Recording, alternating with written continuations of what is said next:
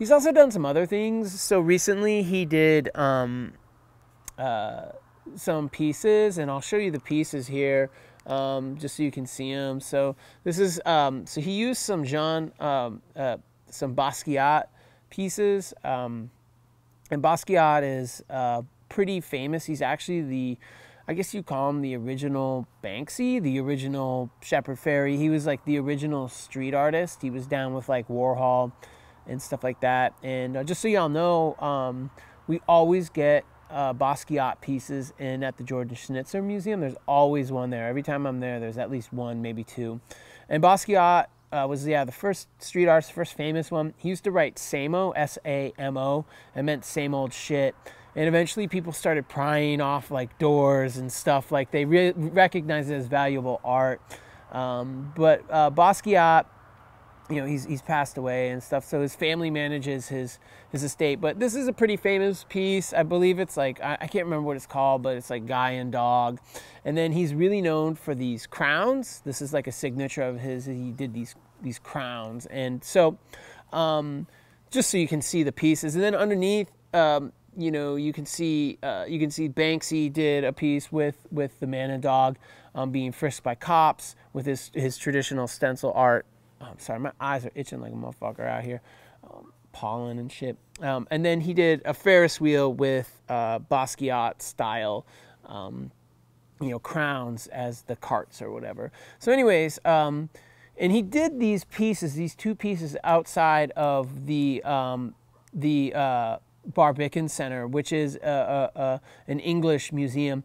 And he did this because the Barbican Center was doing a whole exhibit of Basquiat's art. And Banksy thought it was ironic, hypocritical for them to feature a street artist, graffiti artist essentially, um, you know, who's and exploit them essentially their their art, but yet is very anti-graffiti. You know, doesn't think aerosol art is art. Um, you know, wipes out all graffiti on its walls, etc. So Banksy did these pieces on their on their walls to critique to critique uh, the Barbican Center. Um, you know, so it's pretty it's pretty interesting. You know. Um, and the one thing to note, you know, too, if, if you read through the article that that talks about this, is like, you know, the thing is this: is Banksy owns those expressions, maybe um, the artwork he did, um, the issue would be appropriating Basquiat's art, but I'll get to that in a second. Um, but the Barbican Center could actually cut out those walls and display the Banksy art inside. They could cut out those walls and sell them for $4 million each. They could do whatever they want. They just can't reproduce the art on like t-shirts or in magazines or you know posters or postcards but they do own the actual artwork because it was done on their property. So when you see all these people who are cutting out walls, brick walls, whatever, where Banksy art has been done and selling it for a lot of money, it's because they have the right to do that. They, they can't reproduce the intangible, meaning the, the artwork itself, but they certainly own the property that, that it's on and they can, they can exploit that economically. Um, but, you know, so yeah, of course the Barbican Center could cut out. They own those walls. They could they could sell the the Banksy works. It, doesn't matter. The interesting thing is that um, you know Basquiat's family manages his estate. Um, they're pretty protective of his his artwork and the copyright on on his artwork, um, and you know, but also like the question kind of is like you know could Banksy um, be sued by Basquiat, you know, his family? And the answer is probably yeah.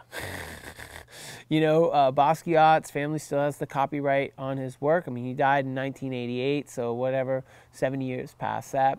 Um, you know, so they still have 38 years of copyright protection. I did math. Yes. Um, maybe it's wrong. um, but um, you know, the question is, you know, is Banksy's use of Basquiat's work fair use?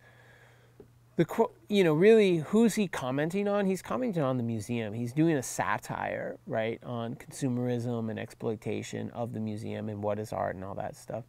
And so, um, if we were to look at fair use, remember when you appropriate someone someone's image, images or, or, or expressions, you have to critique them directly. So he doesn't make a critique on on bank uh, on Basquiat. So does he build on the originals or does he exploit them? Let's just think about this purpose, right? We look at P. He would probably be not fair under P because although he's making a statement, he's not making a statement on Basquiat. He's making a statement on the museum, and that's satire, and that typically won't allow you to be protected. Are the originals creative nature? Of course, yes, not fair. What did he use? Did he use the whole bit, the you know the heart? I mean, all of it. Amount it would be unfair and market harm. Does this create market harm for Basquiat's family? Unlikely. Um, I mean, again, Banksy's not profiting off it. No one knows who the fuck Banksy is really, definitively, so it'd be hard to sue. Is his use a fair use?